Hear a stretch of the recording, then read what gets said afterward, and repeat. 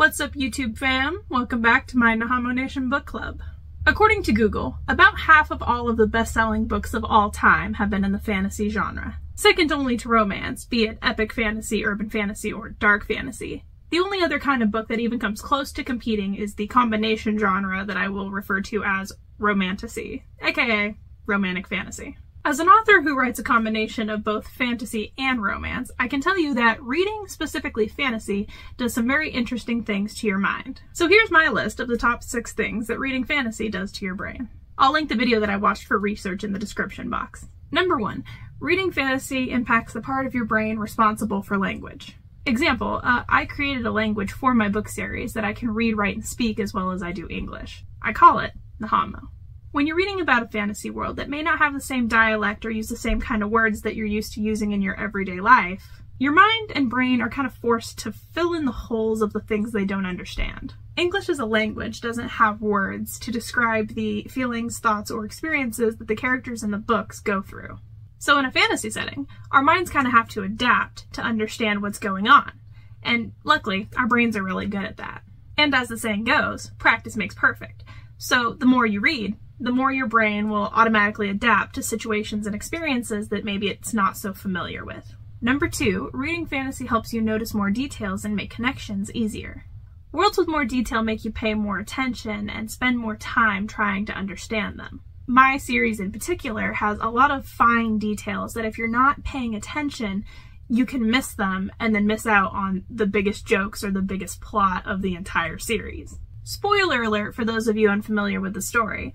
The lead female of my series is called Meli, but so is the author. Now, most people would glance at this and think, oh, it's just an author insert, when the reality is, actually, it's a character who's playing God in her universe. She's writing the story as you're reading it. And so if you don't notice the little details that she kind of drops here and there, you totally could miss most of the main plot of the entire series without even realizing it because you weren't paying attention for the details. Another example, once again, spoiler alert, the Nahamu siblings, uh, who are some of the main characters in the books, they are spiritually immortal, which basically means they, even if they die, their consciousness transfers and gets reincarnated so they remember their past lives in their next life, which basically makes them as immortal as someone can be they hint at it pretty often and they don't really try to hide it. Um, but if you're not paying attention, the jokes don't really make sense because they'll make one joke here and then seven chapters later make another joke down there relevant to the first joke. You really have to pay attention to enjoy the fine details. But reading fantasy stories like this can improve your ability to connect dots notice the details, and really make connections to things a lot faster, which can benefit you in your everyday life. It can improve your brain's natural pattern recognition, which is good across the board because the more you recognize patterns, the more you consciously look for patterns or subconsciously look for patterns, which can actually improve your brain health, among other things. Number three, reading fantasy impacts the part of your brain that regulates your emotions. If you enjoy the story and enjoy reading, this can actually benefit you no matter what genre you're reading. But fantasy specifically has the ability to take you away to a whole different world with a whole new set of rules and a whole new life. And if you put yourself in that kind of world while you're reading, it can seriously affect your emotional state in a very good way. You go to that world and your worries fade away, the daily stress dissipates, and you're just kind of like relaxed. It's almost like a form of meditation, which is really cool. The more you read, the more you can get access to these kind of benefits, but also just reading, enjoying a good story, you know, at the end of the day, it can, you know, lower your depression, it can lower your anxiety, it can raise your mood in general. Unless you read the first book and then you have to wait a whole year for the second book to come out, by which case I feel like that would give me a lot of anxiety. I think I need to fact check that last one. I think I need to fact check that.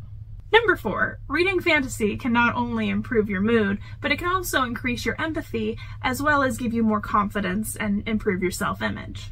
The brain doesn't know the difference between an imagined scenario and a real scenario, which is why if you're running in a dream and you wake up the next morning, your legs might feel sore because your brain doesn't really know the difference between it actually happening and you just like pretending it did in your head Which means that if you read a book where a character is confident and self assured and you associate yourself with that character, those feelings can actually transfer onto yourself and you can improve your confidence and self image via that character. You almost subconsciously take on the traits that you admire the most in other people, be they a book character or a real life person. Uh, by the way, did you know that 78% of people associate themselves either with an anti hero or a villain compared to like the hero or any other character? No? Just me? Okay, well, now, when it comes to reading, my favorite things to read are like legends and mythology, uh, cultures that tell stories long time ago, you know, ancient civilizations, basically anything that I can learn to become a better storyteller or anything that gives me an idea for my own stories. Because unlike a lot of people who enjoy books, I more so enjoy writing than I do reading. My brain is so full of ideas. Literally, I have so many of them. I have hundreds of stories, and I have to force myself to put them on paper so that I don't forget them. But my experience as a writer and an author has made me more confident, braver, more likely to take a risk. And honestly, it's made me really well read because I have to learn how details work. I have to figure out how a situation would accurately go down in order to write about it and put it in my own books. That being said, the genre is called fantasy, so take that as you will. But understanding how something works definitely makes you more confident about that thing. And if you are confident in one aspect of your life, it's much easier to make yourself more confident or improve your own self image if you've already got one thing that you're sure about. But because we live in a world of instant gratification, there are two problems that I run into the most when it comes to trying to read and enjoy reading. Number one, when I was younger, the characters never felt relatable. Like I cannot think of a single character in books or media that I like related to that I really enjoyed. That being said, I didn't really relate to these characters, but like I watched a lot of Dragon Ball Z growing up and um those characters, yeah, they instilled some good lessons in me. Like try your hardest, always keep working, those kind of things. Growing up with that was really good.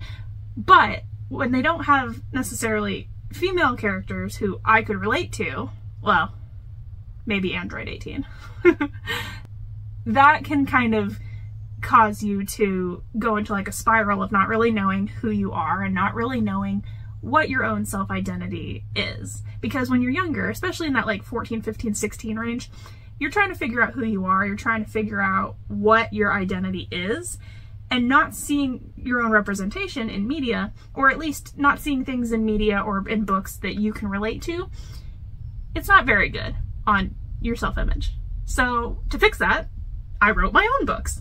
And number two, I get bored really easily. So basically, if I'm not entertained in the first three chapters, you've lost me. Like, it, it it's probably just because my brain is moving a million miles a minute and I can't sit still and I'm like, pew, pew, pew. I'm sure there's a word for that but I don't know what it is. But that's why, if you can make it through the first chapter of my book, you will be instantly hooked. Because the first chapter, by the end of it, because that's how I am, that's how I write. I am my own biggest fan. So if you are really, really wanting to find a good story that, where you can relate to characters, this is a really good one if you have a short attention span like me and need to be hooked on it really fast. Basically, if you can make it through the first chapter, you will probably love this series. It's a very fast-paced moving series with a lot of action and a lot of good stuff, so check it out if you haven't seen it already. But it's my opinion that if a book is feeling really slow, you shouldn't force yourself to read it. Like, one of two things typically happens, in my opinion, with that kind of thing. Either A, you and that book are not compatible. Could be an awesome book, but maybe it's just not for you. Or number two, it's just a slow running book, and some people love that.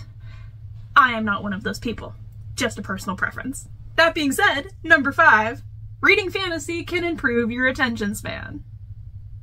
Yes, I know. It's ironic. Along with accessing the part of your brain directly involved with focus, details, and language, fantasy books on average are more likely to hold your attention organically. They're full of magic and monsters and badass battle scenes, and if you're like me, I always add a certain element of romance to at least a part of my book because well, I mean, without love, what is life, really? Like, I mean, it might not be the main part of the story, but it's certainly in there somewhere because I believe that having an element of love to every story makes it a little more realistic, even in fantasy. Plus, I just love love. Like, come on. It's just, it's the only thing in this world worth actually living and dying for, if we're being real. Be it loving your family and your children or your spouse. I digress. Love is the best. But being able to actually sit down and read a book beginning to end without fidgeting with something else like checking your phone or messing with something, which I have a problem with, as I'm sure you've probably gathered at this point. Reading a book beginning to end and going on the whole journey not only gives you a sense of accomplishment, but it improves your ability to focus on one singular thing for an extended period of time. In a world where multitasking is the new norm, focusing on one thing is basically the new version of meditation for a lot of people. I don't know if my books are ever going to get to the size of audience that I want them to, mostly just because I know that they could do a lot of good for humanity. But I'm not going to stop because I genuinely believe that the messages and the themes that I explore about, you know, finding your inner self and figuring out your own identity in those varieties, exploring the dark and light side of the human mind and all the things that go along with it. I think that could really benefit a lot of us in an age where we're also confused about everything. And also, I know there has to be at least one person out there like me who felt like they never like found a book where they thought that they could relate to the characters. So, if you are that person, I'm so glad I found you, and I hope I help. I've created this entire world similar to the one that we live in and parallel to ours simply just because fantasy mirrors reality. The reason we have so many stories today about dystopian societies and apocalyptic happenings and all that variety of stuff is because as a species, I think that we're all just kind of waiting for the other shoe to drop. Like there's we all feel like there's something fundamentally wrong that needs fixing in our world. We're all scared and confused and just trying to figure it out. And I personally believe that the best way to do that is by expanding the kinds of conversations we have with ourselves without fear of judgment. Which leads us to, in my opinion, the most important thing that you can get from reading fantasy books and kind of just reading in general. Number six, reading fantasy can help you to understand yourself better nobody's perfect and that's why I wrote my books originally because it was helping myself to figure out who I am and what I was doing and how to battle and well more so bandage the parts of myself that you know I hide away from the world just like everyone else does. We all hide away parts of ourselves that we don't want the world to see. Maybe because we're ashamed of it or maybe because we just don't know what to do with it. But often what happens is we go all or nothing. We're either entirely light, we shove everything dark down, or we go entirely dark side, give into every hedonistic whim, and we shove down everything good. And neither one of those is the way to go. Like, you have to have a balance of light and dark in yourself to truly be a functioning, well-adjusted human being like we all have the potential to be. It's time to heal your inner child, and it's time to face those inner demons. Everyone has them, and if you shove them down so that you don't have to think about them, eventually they're gonna bite you back in the worst possible ways. And of course, the best way to do that is by doing something fun and entertaining and maybe learning a little bit along the way. Which is why I made a video specifically with that in mind. So if you'll click over here, you'll find a video that I made when I first opened my YouTube channel, which is the book trailer for my series, The Castor Saga.